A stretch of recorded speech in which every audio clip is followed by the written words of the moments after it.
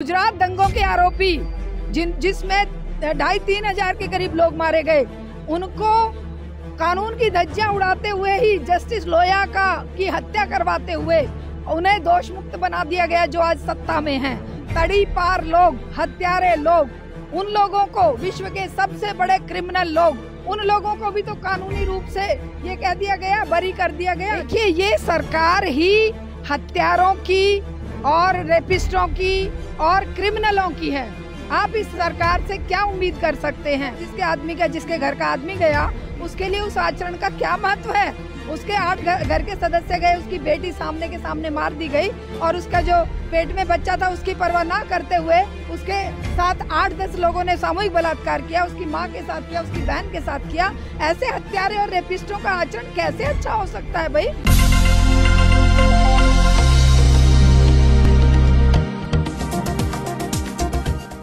नमस्कार मैं पूजा। आप देख रहे हैं जनित आवाज़। इस वक्त मैं मौजूद हूँ दिल्ली के जंतर मंतर। और दिल्ली के जंतर मंतर पर यहाँ क्या कुछ होता रहता है आप लोगों को पता ही है। यहाँ पर आज जो प्र, प्रोटेस्ट हो रहा है वो बिल्किस बानो के लिए हो रहा है। और क्यों हो रहा है इन्हीं से अभी जानते हैं। तो मैम ये बिल्किस बानो का इतना पुराना मैटर था तो अब ये उखड़ के कैसे सामने आ रहा है? और आप लोग यहाँ सड़कों पर क्यों जुट रहे हैं? देखिए, भारत के अमृत महोत्सव के नाम पर जब प्रधानमंत्री लाल किले से खड़े होकर आँसू बहाते हैं, महिलाओं के लिए कि मुझे बड़ा दर्द है। मेरी महिलाओं पर बड़े अत्याचार होते हैं। और 20 साल पहले जो एक महिला के साथ हुआ, उसके घर के आठ सदस्यों को उसके सामने मौत के घाट उतार दिया गया। उसकी तीन साल की बच्ची को पटक पटक के मार दिया गया। खुद पाँच महीने की प्रेग्नेंट होने के बावजूद उसके साथ अट्ठारह लोगों ने सामूहिक बलात्कार किया। उसके बावजूद भी उन हत्यारों को, उन रेपिस्ट को, ये उसी दिन जब ये आँसू बहा रहे हैं घड़ियाली तभी तभी गुजरात सरकार जेल से बाहर निकाल देती है। जिस, जिन अपराधियों को जेल में पहुँचाने के लिए उस बेचारी ने 20 साल तक अपने पैर रगड़े, अपने आप को बर्बाद किया बीस तीस जगह पे उसने घर बदले क्योंकि उसके ऊपर धमकियाँ आती थी, उसके ऊपर मौत के बादल मंडरा रहे थे, उसने लगातार संघर्ष किया। लेकिन उस संघर्ष का परिणाम अब वो थोड़ा सा निश्चिंत होकर अपने बच्चों को पालने पोसने लगी थी तो अब से फिर से उसके सर पे वो मौत के बादल मंडरा रहे हैं। क्यों? क्योंकि उन दरिंदों को जेल से मोदी सरकार ने, जो गुजरात मॉडल है, गुजरात में जिस तरह के मॉडल तैयार किए जाते हैं, वो पूरे देश में लागू होते हैं। और गुजरात मॉडल के तहत उन्होंने उन अपराधियों को जो सजा याफ्ता थे, सुप्रीम कोर्ट सीबीआई और सारे कोर्ट जिन्होंने उनको सजा दी थी, उन सबको धता बताते हुए, चार पाँच लोगों की कमेटी ने उनको दोष मुक्त करते हुए कि इनका आचरण बहुत अच्छा है। उन हत्यारों का आचरण कहाँ से अच्छा हो गया? उन हत्यारों ने जिन्होंने तीन साल की बच्ची को पत्थर पे पटक पटक के एक माँ के सामने मार दिया हम माए हैं हमें हमारा दिल जानता है कि बच्चे को कांटा भी चुभे कितना दर्द होता है। और उस माँ ने अपनी बच्ची को सामने मरते हुए देखा था। और ऐसे हत्यारों को जब जेल से रिहा कर दिया जाता है वो भी अमृत महोत्सव के दिन। उसी के विरोध में आज हम जंतर मंतर पर एकत्रित हुए हैं महिला संगठन ऑल इंडिया महिला सांस्कृतिक संगठन की महिलाएँ दूसरे दूसरे संगठनों के साथ। तो मतलब क्या कानून की धज्जियाँ उड़ाई जा रही है सरेआम? बिल्कुल उड़ाई जा रही है। देखिए कानून की धज्जियाँ उड़ाते हुए ही गुजरात दंगों के आरोपी जिन, जिसमें ढाई तीन हज़ार के करीब लोग मारे गए, उनको कानून की धज्जियाँ उड़ाते हुए ही, जस्टिस लोया का, की हत्या करवाते हुए, उन्हें दोष मुक्त बना दिया गया जो आज सत्ता में हैं। तड़ी पार लोग, हत्यारे लोग उन लोगों को, विश्व के सबसे बड़े क्रिमिनल लोग, उन लोगों को भी तो कानूनी रूप से ये कह दिया गया, बरी कर दिया गया कि इन, इनके अगेंस्ट साजिश की गई है, कोई अपराध नहीं है। तिस्ता सीतलवाड़ जैसे लोगों को, जिन्होंने इसके खिलाफ आवाज़ उठाई, उन्हें तो जेल में डाल दिया। और जो अपराधी थे, उन्हें सत्ता सौंप दी गई। तो ये कानून नहीं तो किया? ये किसी और ने थोड़ी किया है? लगातार दूसरी बार ऐसा फैसला गुजरात से सुनने में आया है जिसमें इस तरीके की कार्रवाई करते हुए उनको रिहा कर दिया गया। ऐसे ही जो आप बी शीतलवाड़ का बता रहे हैं वो भी उसमें भी ऐसा ही कुछ हुआ। तो ये लगातार ऐसा क्यों हो रहा है? वो भी ऐसी मोदी सरकार में देखिए ये सरकार ही हत्यारों की और रेपिस्टों की और क्रिमिनलों की है। आप इस सरकार से क्या उम्मीद कर सकते हैं? आप देख रहे हैं कि संसद में बैठे 450 लोग 540 लोगों में से 300 लोगों के अगेंस्ट हत्या, बलात्कार, फिरौती और ये लैंड लैंड ग्रैबिंग के मामले हैं। और इनको जीतने के लिए जो तमगा मिला होता है वो क्रिमिनल का मिला होता है। जो क्राइम, जितना बड़ा क्राइम, उतनी जीत की गारंटी। आप देख रहे हैं कि यूपी में वो सेंगर था जिस और उधर उसमें जे के में आसिफा के विरुद्ध जो अत्याचार और बलात्कार और मर्डर हुआ उनके आरोपियों को बचाने के लिए कैंडल मार्च निकाल रही है यही सरकार और यही बीजेपी। इसी तरह से सेंगर के बचाव के लिए ये लोग सड़कों पे उतर रहे हैं। उसी तरह से ये अब बिल्किस बानों के हत्यारों को मालाएँ पहना रहे हैं।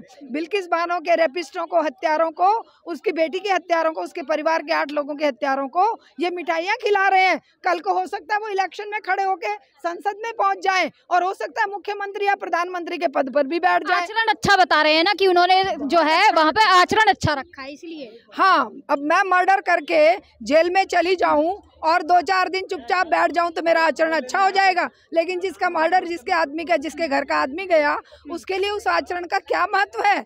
उसके आठ घर घर के सदस्य गए उसकी बेटी सामने के सामने मार दी गई और उसका जो पेट में बच्चा था उसकी परवाह ना करते हुए उसके साथ आठ दस लोगों ने सामूहिक बलात्कार किया उसकी माँ के साथ किया उसकी बहन के साथ किया।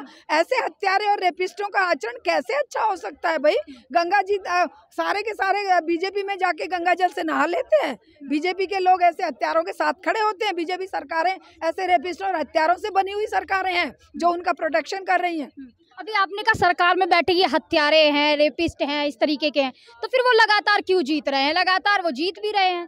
देखिए जीतने के तो बहुत सारे कारण हैं। सबसे बड़ा कारण तो ये है कि हमारा ये समाज जातियों में धर्मों में बंटकर इतना खोखला हो चुका है कि यहाँ एक दलित के बच्चे ने अगर मटके से पानी पी लिया और हत्या कर दी गई उसे उस हत्यारे को बचाने के लिए तो समाज में हलचल हो रही है।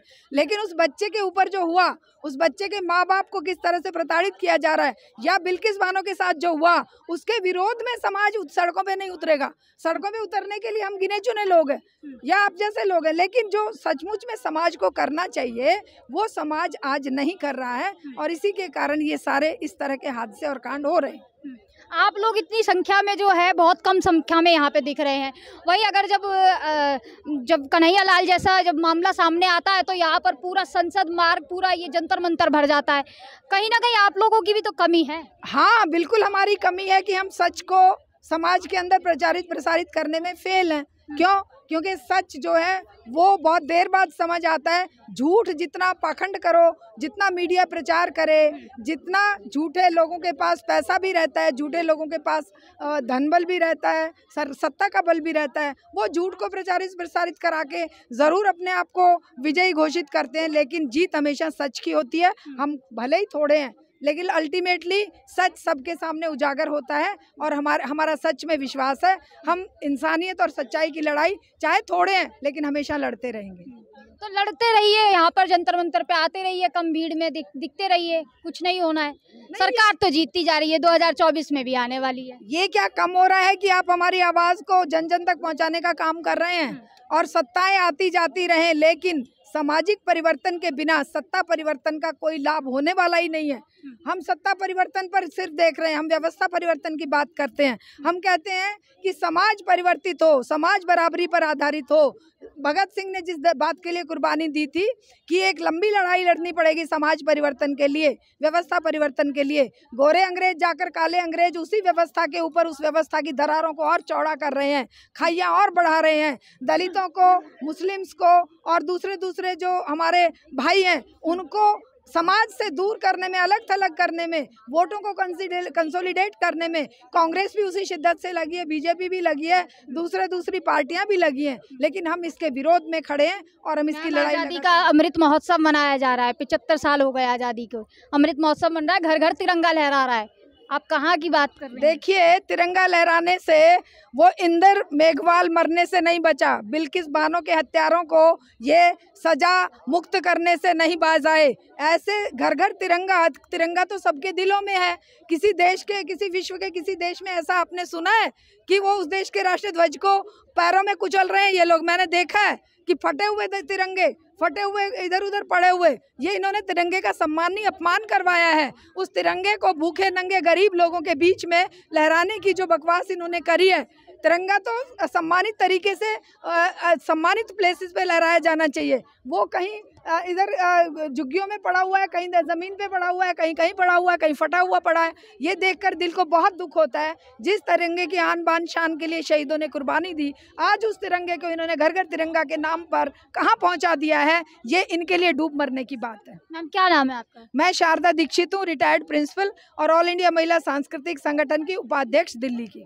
तो अब क्या कुछ करेंगे? यहाँ पर अब आप जुट गए हैं उसके बाद क्या कुछ करेंगे? लगातार हम आवाज़ बुलंद करते रहेंगे और इस बात को हम उन हुक्मरानों तक पहुँचाने में पूरी ताकत लगा देंगे। चलिए बहुत बहुत शुक्रिया। अभी हमारे साथ थी मैम उन्होंने बताया किस तरीके से बिल्किश बानो के साथ दरिंदों ने इतना घिनौना कृत्य किया कि आप उसका अंदाज़ा नहीं लगा सकते। सोचिए वो प्रेग्नेंट थी उस स्थिति में भी किसी को तो दया आ जाती है। एक ये जो रेप हुआ है एक माँ का ही नहीं एक बेटी का ही नहीं ऐसी महिला का रेप हुआ है जिसका आप अंदाज़ा नहीं लगा सकते हैं। सोचिए पूरी जो महिला, जो पूरा उसका, जो बनाया होता है, एक ढांचा होता है, उसकी धज्जियाँ उड़ाई गई हैं, पूरे ग्यारह रेपिस्ट जो छोड़े गए हैं। सोचिए उनको, उनके गले में माला डाली जा रही है। ये वही भारत देश है जिसमें तिरंगा लहराता है। पंद्रह अगस्त को खड़े होकर प्रधानमंत्री मोदी जी लाल किले से भाषण देते हैं। महिलाओं के लिए जो बोलते हैं कि महिलाएँ हमारे देश की स्त्री हैं, हमारे देश की जो है नारी हैं और उनसे ही हमारा गर्व है, सम्मान है। लेकिन यहाँ देखिए कि एक बिल्किश बानो जब ऐसी स्थिति में होती है, उसके साथ बलात्कार करते हैं ऐसे आरोपी, उनको छोड़ दिया जाता है, उनको गलों में मालाएँ डाली जाती हैं, मिठाइयाँ खिलाई जाती हैं। तो सोचिए, आप विश्व गुरु देश में रह रहे हैं तो ऐसे विश्व गुरु देश में रहकर आप अंदाज़ा लगाइए कि किस तरीके से यहाँ पर स्त्रियों का सम्मान किया जाता है। इसी के साथ दिखती रही जनित आवाज़, मेरे सहयोगी, कैमरामैन के साथ में पूजा, जंतर मंतर, दिल्ली।